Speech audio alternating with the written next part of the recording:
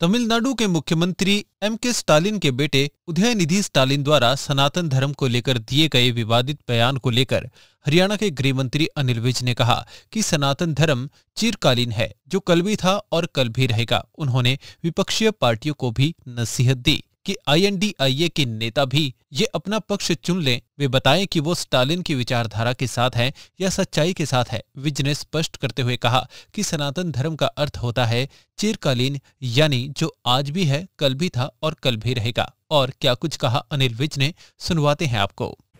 मुख्यमंत्री एम के स्टालिन के बेटे उदानिधि स्टालिन, जो कि खुद भी एक संवैधानिक पद पर हैं, मंत्री हैं, उन्होंने सनातन धर्म के खिलाफ बहुत ही ज़्यादा विवादित बयान दिया है। उनको शायद अल्प ज्ञान है, उनको मालूम नहीं कि सनातन वो होता है जो आज भी है, कल भी था और कल भी रहेगा। सनातन चिरकालिक होता है। महाभारत के युद्ध में। युद्ध शुरू होने से पहले श्री कृष्ण ने सब राजाओं को मौका दिया था कि वह अपना अपना पक्ष चुन लें। जो कौरवों के साथ जाना चाहते हैं, वो कौरवों के साथ चले जाएँ। और जो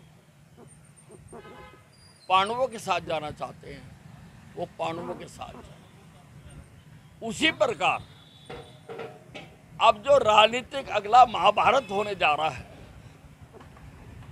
उससे पहले पहले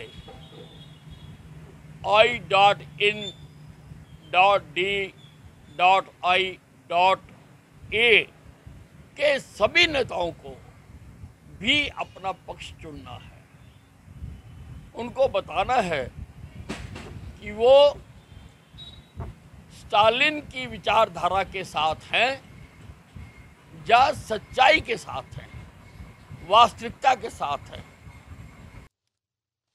केंद्र सरकार द्वारा एक राष्ट्र, एक चुनाव प्रस्ताव लाने को लेकर विज ने इसकी तारीफ़ करते हुए कहा कि क्या होगा, ये नहीं कहा जा सकता। सिर्फ़ कयास ही लगाए जा रहे हैं, लेकिन अगर ऐसा हो जाता है तो बहुत सारा सरकारी खर्चा बचता है। इसके अतिरिक्त जो सारा साल कोर्ट ऑफ़ कंडक्ट लगा रहता है, उससे सारा साल विकास कार्य रुके रहते हैं।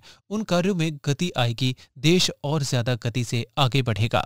देखिए, अब क्या होता है, ये तो पूर्व अनुमान नहीं लगाया जा सकता।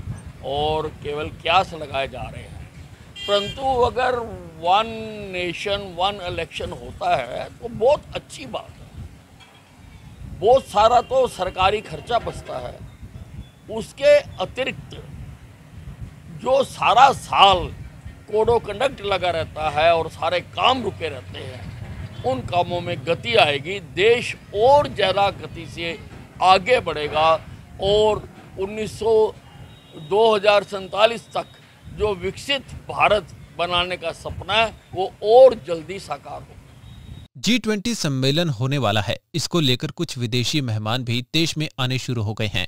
इसको लेकर विज ने कहा कि आने वाले अतिथियों को पूरी सुरक्षा दी जा रही है। उनको बहुत ही अच्छा अतिथि सत्कार दिया जाएगा। पूरी सुरक्षा का इंतज़ाम किए गए हैं। चप्पे चप्पे पर प्रशासन की नज़र है। कई बार फैसले कर ली गई हैं। और बहुत अच्छा आतिथ्य उनको दिया जाएगा।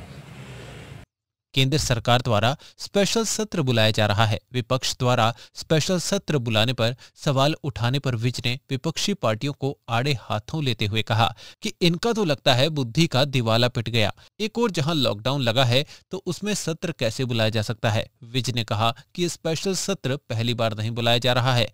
पहले भी कई बार बुलाया गया है। का तो मुझको लगता है बुद्धि का दिवाला पिट गया। कोरोना में जहाँ एक तरफ़ तो लॉकडाउन लगा हुआ है तो लॉकडाउन में सेशन कैसे बुला लिया जाता? कैसे बुला लेंगे? और कौन सा स्पेशल सेशन पहली बार बुलाया जा रहा है?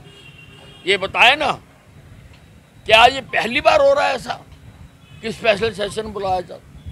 कोई विषय होते हैं और ये प्रजातंत्र की जो बहुत अच्छी परंपरा है कि उनको ऑर्डिनेंसों के माध्यम से जारी ना करके और सेशन बुलाया जाता है और ये प्रजातंत्र में सारे मुद्दे चर्चा के बाद ही पास होते हैं।